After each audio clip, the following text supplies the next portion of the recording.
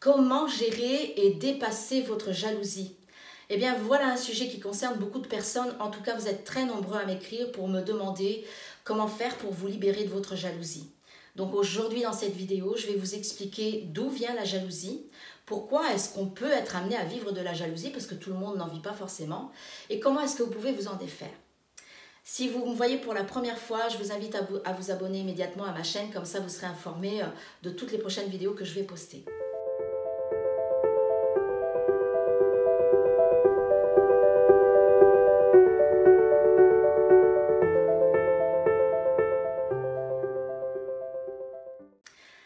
Bonjour, je suis Christina Marquez, je suis psychopraticienne spécialisée en dépendance affective et relations de couple. Alors premièrement, comment est-ce que la jalousie se manifeste? C'est important de distinguer jalousie et envie. La jalousie, c'est un sentiment qui va nous procurer des émotions d'insécurité affective et qui va susciter le désir de vouloir posséder exclusivement la personne à laquelle on tient. C'est un sentiment qui provoque de l'inquiétude et de la peur de perdre cette personne-là. Quant à l'envie, elle peut être motivée par un sentiment d'admiration ou par un sentiment de mépris et de colère. Lorsqu'on est motivé par un sentiment d'admiration, eh bien, euh, elle va nous permettre de voir à travers l'autre personne que nous admirons des qualités, des dons, des talents que on possède également, mais nous en sommes peut-être inconscients et en tout cas, nous ne les utilisons pas comme cette personne. À l'inverse, quand l'envie est motivée par un sentiment de mépris et de colère, bah, ça dénote en nous un manque de confiance et un manque d'estime envers nous-mêmes. Et si on persiste en fait à avoir cette perception de soi, eh bien en fait on va toujours nourrir notre propre dévalorisation. La jalousie, elle va se manifester dans des situations qui vont englober trois personnes. C'est dans le cadre des relations amoureuses euh, qu'on va pouvoir trouver des exemples les plus évidents de, de, la situation où on vit de la jalousie. Alors que l'envie, c'est un sentiment qui va être vécu dans des situations qui vont plutôt englober deux personnes. Par exemple, si vous êtes dérangé en fait par le fait que votre partenaire regarde une belle femme et que vous vous dites euh, je suis jalouse euh, que mon partenaire regarde une belle femme, là il s'agit bien de jalousie.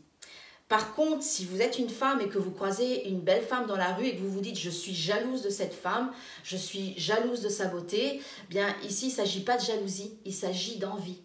En fait, on a tout simplement pris l'habitude d'utiliser davantage le terme jalousie pour nous exprimer et pour décrire euh, ce genre de situation. Alors pourquoi est-ce qu'on vit de la jalousie et d'où vient la jalousie? La jalousie, c'est une maladie euh, du plan affectif qui est la conséquence euh, d'abord d'un manque d'amour que nous avons vis-à-vis de nous-mêmes, d'un manque de confiance en soi et en l'autre, d'une méconnaissance de notre propre valeur et également de l'idée illusoire que l'autre nous appartient. La société, en fait, nous a conditionnés à croire que dans nos relations, nous nous appartenons les uns les autres. En réalité, personne n'appartient à personne. Nous sommes tous ici sur Terre pour être des êtres libres. Et le fait d'être en couple ne devrait en aucun cas euh, priver une personne d'être un être libre et de se sentir libre d'être lui-même.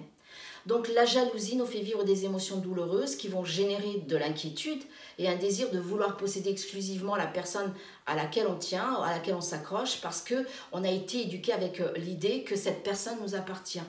Il y a aussi le fait que de nombreuses personnes ont la croyance que la jalousie c'est une preuve d'amour. En réalité, ce n'est pas une preuve d'amour, c'est surtout une preuve de manque d'amour vis-à-vis de nous-mêmes. Alors comment est-ce qu'on peut s'en sortir? Comment est-ce qu'on peut guérir la jalousie et la dépasser?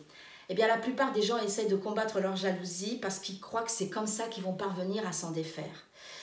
Vous faites peut-être partie de ces gens-là, euh, je ne sais pas. Si c'est le cas et que ça fait longtemps que vous essayez de vous libérer de votre jalousie euh, en la combattant, en la fuyant, eh bien moi je vous invite à expérimenter une autre attitude. Parce que vous savez que tant qu'on fait toujours la, même chose de la même manière, on obtient toujours le même résultat.